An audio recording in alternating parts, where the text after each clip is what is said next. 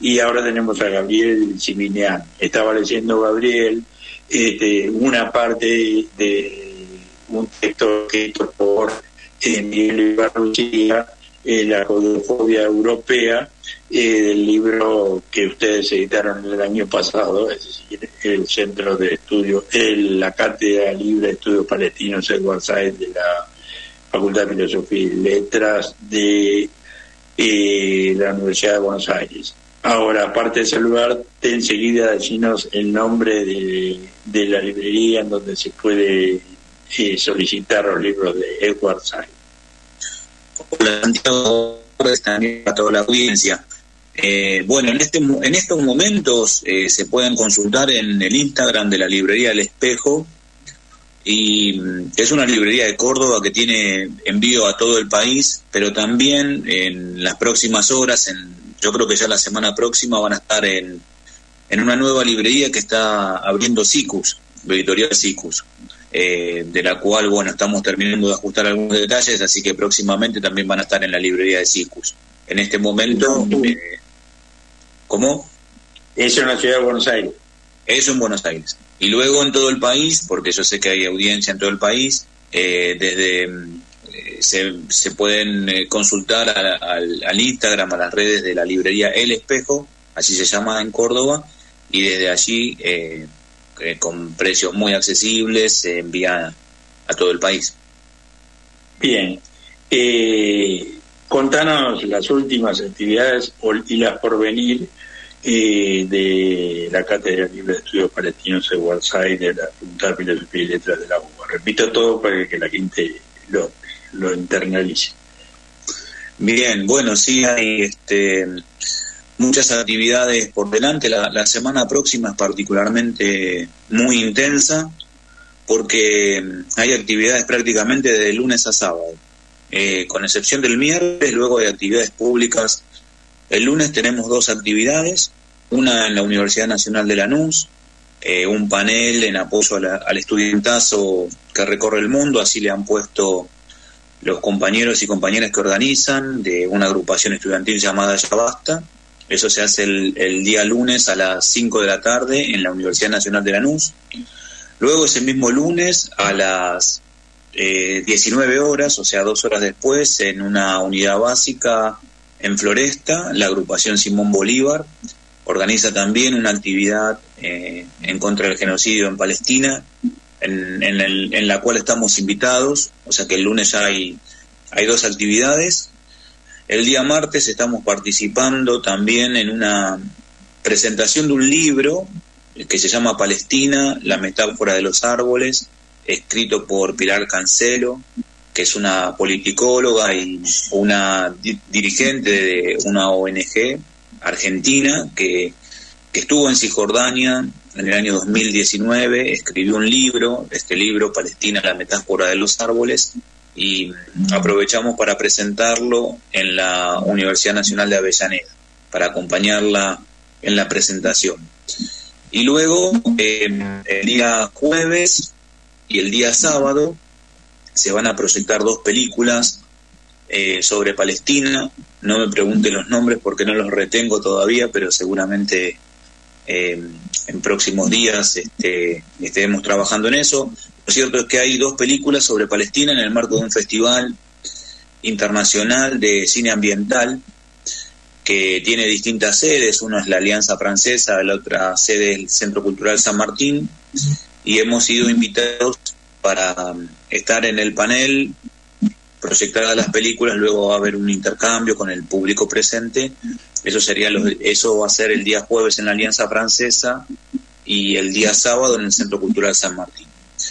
Y el día viernes, por eso te decía que era una semana particularmente intensa, el día viernes hay una actividad que se organiza en Ciudad de Buenos Aires, en un espacio eh, cultural, social, político que se llama el Museo del Hambre, eh, organizada por el grupo feminista eh, Sandías, eh, que es un grupo feminista que está tomando y que está militando la causa palestina, así que ahí también estaremos acompañando en, el, en un panel en esa actividad. O sea que prácticamente todos los días hay actividad, estamos acompañando y, y bueno, eh, yo siempre digo por suerte y por desgracia, por desgracia porque obviamente tienen que ver con, con los sucesos en curso en Palestina, pero por suerte hay muchas voces y muchos espacios eh, de solidaridad con el pueblo palestino que se han abierto eh, y que, que, son tan necesarios, ¿no? alzar la voz y no ser cómplice silencioso del genocidio que, que padece el pueblo palestino.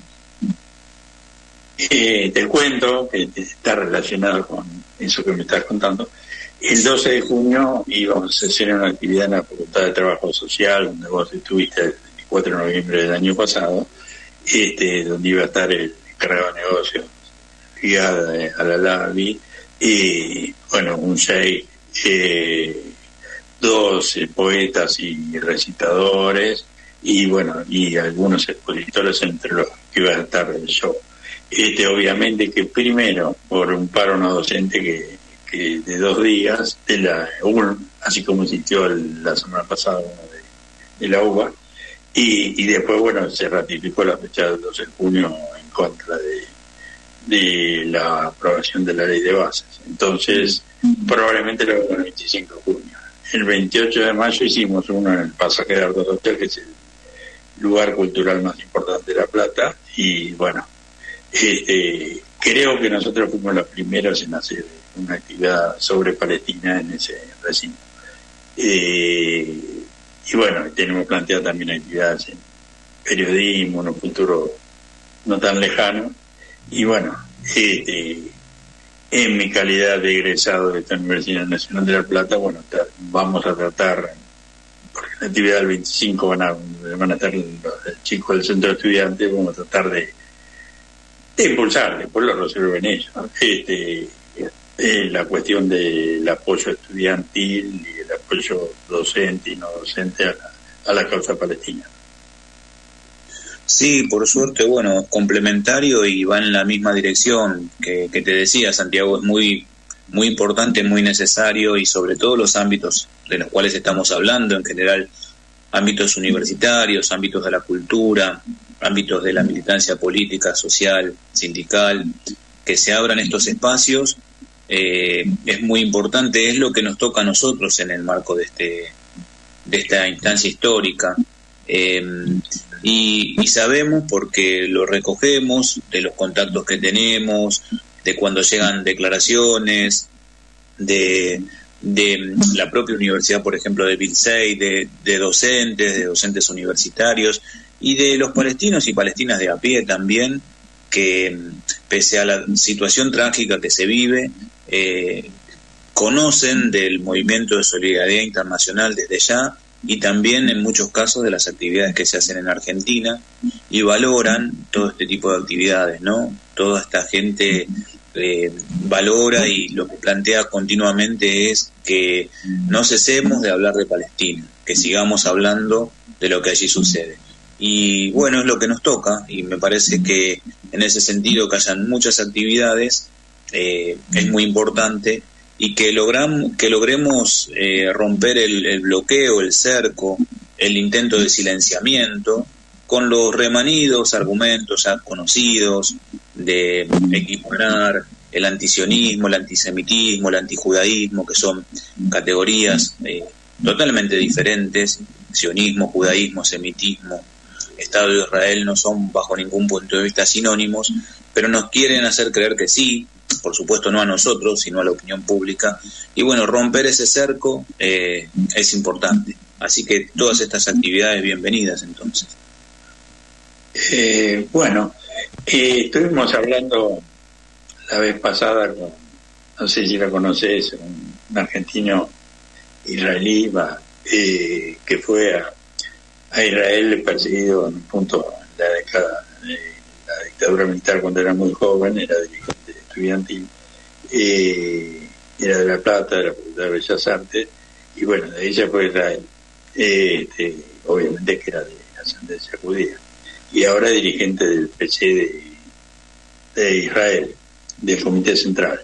Bueno, él estaba esperanzado con las últimas declaraciones de Biden, pensando que podía ser eh, este, algo así como una orden hacia Israel. Yo, por la experiencia que tengo, no vivo en Israel ni pretendo ver más de Israel que él, pero yo veía que, que Israel no actúa como si fuera eh, como un subordinado de Estados Unidos, actúa como un socio y con un socio que a veces actúa por su cuenta, porque todo este cuentito de la de la tregua, del intercambio de prisioneros, de la reconstrucción de Gaza, bueno, ya lo vienen haciéndose varias veces y, te parece más un, una actuación teatral que, algo real. Porque si supuestamente Israel es subordinado a Estados Unidos, ¿cómo no le va a hacer caso al subordinado al subordinante? Este, para mí eh, no, se, no se ubica en ese rol de, subordinado. Este, porque hay que entender que, que el sionismo es mucho más que Israel si fuera solo Israel, Israel este, no tendría el poder que tiene. Va, y el sionismo, ¿no? Sí, hay, hace ya unos días eh, que se está hablando de esas negociaciones y lo que vos decías de, de tres fases para, para un cese definitivo del fuego y la culminación en la reconstrucción total de Gaza y bueno el intercambio de, prisioneros, inclusive vivos y muertos y demás, este, eso está totalmente demorado, está totalmente demorado y lo cierto es que día a día se suceden masacres. Eso es así, es como vos decís. No parecería ser alguien que el Estado de Israel no parecería ser un, Estado y su dirigencia que está bajo presión porque sigue cometiendo los crímenes en terreno eh, como el primer día. Eh, en ese sentido no hay quien lo haya detenido, no hay Corte Internacional de Justicia, no hay Consejo de Seguridad, no hay este, presión estadounidense ni presión de la opinión pública mundial. Por supuesto que eh, eso se puede desglosar en dos análisis. Uno es que quien padece toda esa fuerza brutal, eh, irrefrenable, es el pueblo de Palestina que acumula día a día tragedias, masacres, víctimas, destrucción, dolor. Eh, y por otra parte también es cierto que eso tiene un costo para el Estado de Israel que está cada vez más eh, frente a, la opinión pública internacional, cada vez ha perdido más eh, legitimidad. Eh, las votaciones que se dan en el seno de Naciones Unidas ha sido demuestran. Ya hay 147 estados que reconocen al Estado palestino y seguramente que cuando, cuando esta etapa de la tragedia culmine van a ser muchos más. Eh, así que se da esa, esa situación que, que, vos planteás. Eh, eh, no hay, parece ser, quien detenga la mano. De hecho, ahora estaba leyendo que también hay un proyecto de ley respecto a, los integrantes de la Corte Penal Internacional que está siendo evaluado en, en, en, el Congreso estadounidense para también sancionar a los integrantes de la Corte Penal Internacional que están investigando y que han pedido orden, que tienen órdenes de captura para la dirigencia israelí. Eh, así que no, no podemos esperar eh, demasiado hasta que en todo caso los hechos se concreten, ¿no? Eh, Estados Unidos, como, como ya lo había escrito Nasser Aruri, un académico palestino, es un mediador deshonesto. La verdad que es un mediador deshonesto. Eh, y en tanto y en cuanto esté como, como mediador, poco y nada se puede esperar eh, en relación a la suerte del pueblo palestino. Lo que ocurre es que todo esto debería negociarse, de, eh, en todo caso, todo este tipo de, deberían darse este tipo de negociaciones en el seno de las Naciones Unidas. En cualquier otra situación se darían estos términos. Mientras sea Estados Unidos el mediador, es como vos decís, poco y nada podemos esperar, hasta que algún día suceda algo, ojalá que algún día suceda algo. Creo que esta tragedia televisada eh, ha impactado lo suficiente como para que eso termine sucediendo. Quizás eso suceda cuando decidan que es mejor negocio la reconstrucción que la guerra, en ese caso. Sí, en términos económicos sí, puede suceder eso en términos de, la política interna israelí, parecería que los, este, los extremistas que están desembosados, no sé si han, eh, supongo que la audiencia, vos has, escuchado las últimas declaraciones públicas de Smotrich, de, Ben Gvir, eh, que francamente son eh, vergonzantes, ¿no? Yo no, no, creo, no puedo creer, eh, yo creo que si esa gente representa a un colectivo humano, ¿no?